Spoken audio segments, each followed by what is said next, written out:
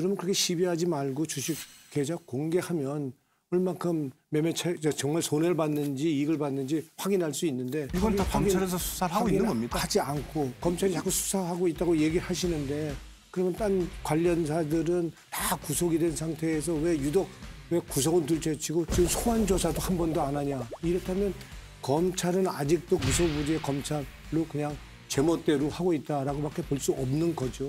제가 지- 이럴 수 있습니까? 김건희 여사를 기소할 게 있으면 이미 불러서 다른 사람 기소할 때 다 기소했을 거예요 조사에서. 근데 조사를 못 한다는 것 자체가 저는 기소할 게 없다. 저는 약간 이해가 안 되는 게 도이치 주가 조작 사건이 이미 상당 부분이 기소가 됐잖아요. 보통 죄가 있으면 그때 같이 기소를 한단 말이에요 공범으로 같이. 근데 그 기소를 안 하고 안 끝내주는 건 이건 무혐의구나. 원래 검찰이요. 아, 윤석열 무혐의- 후보가 있으니까 안 끝내는 거죠. 아니죠. 저희 지금 이 검찰이? 누구 검찰인데 아, 그러면 그러시니까. 조사도 안 하고서는 아니 아니.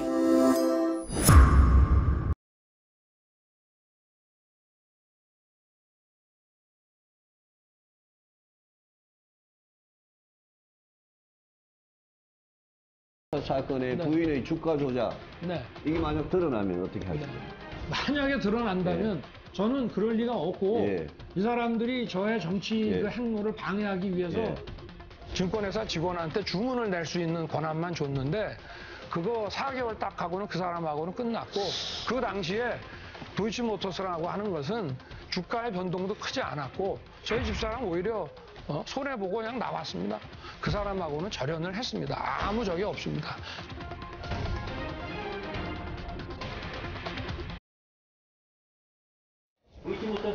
조작이 한참 진행되던 시절에 윤석열 후보의 지난 해명과는 달리 굉장히 활발하게 김건희 씨가 주식 거래를 했다는 것입니다.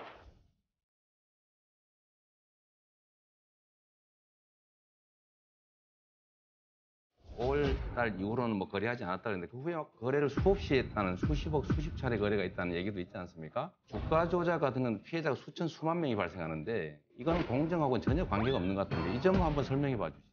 검찰에서 한 2년 이상을 관련되는 뭐 기자와 관계자들을 뭐 별건의 별건을 거듭해 가면서 조사를 했고 벌써 제가 경선 당시에도 기자까지 전부 다 공개를 했습니다.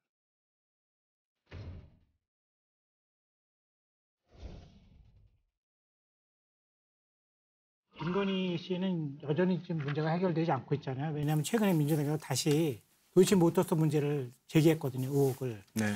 그 문제는 어떻게 지금 되고 있는지. 윤석열 후보는 지난해 12월 관영 클럽에서 도이치 모터스 주가 조작 의혹 사건과 관련해서 분명히 얘기를 했잖아요.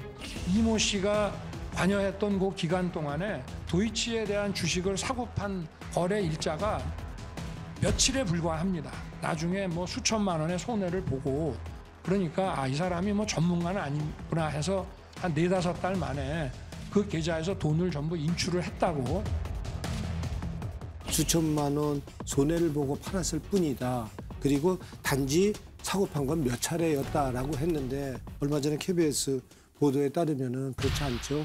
2010년, 11년에 걸쳐서 40여 차례 주- 주식 거래를 한 거로 드러난 거고요. 그리고 35억 정도를 수- 수익을 얻은 거로 좀 정황이 드러났다는 거 아닙니까? 저는 이제 검사실에 이제 금융조사 조사부장을 하면서 주가 조작의 행태를 알고 있습니다. 주가 조작이라는 거는 작전을 짜는 그룹이 있어가지고 그 안에 모여서 통정 매매라 해서 이제 서로 간에 뭐 허수 주문을 하고 고가 주문을 하면서 전략적으로 움직이는 그룹입니다. 이제 이렇게 하면서 지속적으로 이제 주가를 조정하는 건데 거기에 물론 전주가 있죠.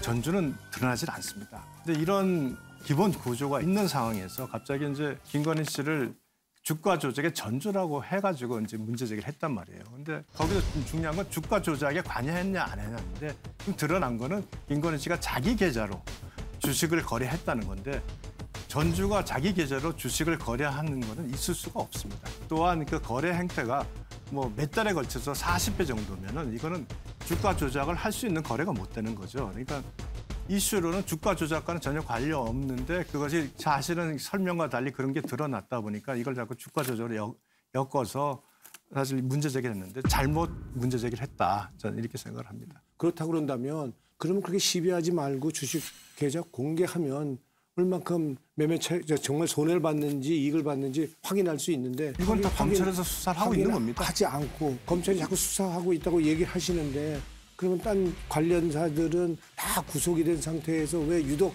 왜 구속은 둘째치고 지금 소환 조사도 한 번도 안 하냐 이렇다면 검찰은 아직도 무소부지의 검찰로 그냥 제멋대로 하고 있다라고밖에 볼 수 없는 거죠. 제가 그처럼 이럴 수 있습니까? 제가 제 경험을 좀 말씀을 예, 예. 드릴까요? 민주당이 말도 안 되는 의혹을 제기해서 13건이나 무슨 시민단체를 내세워서 이제 고발이 됐는데요. 끝끝내 아무리 해도 고발할 게 없고 기소할 게 없으니까 저를 못 부르는 거예요. 그래서 못 부르는 이유가 저를 부르면 기소를 해야 되는데 기소할 게 없으니까 못 부른다. 그게 검찰입니다. 김건희 여사를 기소할 게 있으면 이미 불러서 다른 사람 기소할 때 다 기소했을 거예요, 조사에서. 근데 조사를 못 한다는 것 자체가 저는 기소할 게 없다. 네. 이렇게 보여집니다. 이게 사실관계가 달라서 말씀드리면 언론 보도에 따르면 검찰이 김건희 씨 소환을 통보했다는 거예요. 근데 이제 대선 전에는 자기가 나가지 않겠다 이렇게 이야기했다는 거니까 사실관계가 좀 안 불렀다 이렇게 오해하고 계셔서 또 이제 아마 이런 답변이 나오는 것 같은데요. 어쨌든 몇 가지 사실로 드러난 것은 우리가 뭘 주장하기 이전에 윤석열 후보가 말하는 것이 정면으로 거짓말로 드러나는 지점들에 대한 의혹인 거예요. 그러니까 이번에 거래됐던 금액의 7.7% 약간 8% 정도가 김건희 씨 계좌에서 거래됐다라는 것들이 언론을 통해서 알려진 내용이거든요. 그런 부분에 대해서 왜 우리는 속 시원하게 해명을 못 듣지? 그래서 윤석열 후보가 해명했는데 그 해명은 틀린 걸 허위로 드러났네. 40여 차례 거래가 있었네. 그럼 이게 또 뭐지? 이런 의혹들이 쌓이는 거죠. 이런 것 때문에 금융시장이 굉장히 교란되고 국민들이 허탈해하는 거잖아요. 그러니까 저는 사실은 이 문제에 대해서 아무 일 없었다라는 것처럼 이야기할 건 아니라는 거예요. 이미 후보가 거짓말을 한 거예요. 첫 번째는. 두 번째는 소환 조사에 불응하고 있어요. 법을 지키지 않고 있는 거잖아요. 다른 후보도 아니고 공정을 이야기하는 후보가 말씀하시는 거예요. 지금 이 문제에 대해서 그래서 이 문제를 좀 더 적극적으로 이야기해봐 해봐야 되는 것이고 제가 볼 때는 본인 남편을 속일 수도 있었겠다고 생각도 들어요. 남편이 다 모를 수도 있잖아요. 그러니까 그거에 대해서 답변할 문제가 아니라 자체적으로도 오히려 진지하게 이걸 확인해 봐야 되는 거 아니냐. 왜냐하면 새로운 사실로 계속 나오는 게 어디까지인지 모를 거다. 이런 생각이 듭니다. 예. 이 부분에 대해서 자꾸 이제 공개라라 공개라라 하는데 말씀대로 수사 중인 사안에 대해서 공개하지 않는 건 민주당도 똑같잖아요. 아니, 대장동님도 그렇게 하실 때는 수사 중인 사안 아니라서 공개하세요? 그러니까 그런 이야기가 아니라는 거예요. 그러니까 이 부분에 대해서는 검찰에서 수사 중인 게 분명하고 또 그 수사 중인 내용에 대해서 아마 나온 걸로 보입니다.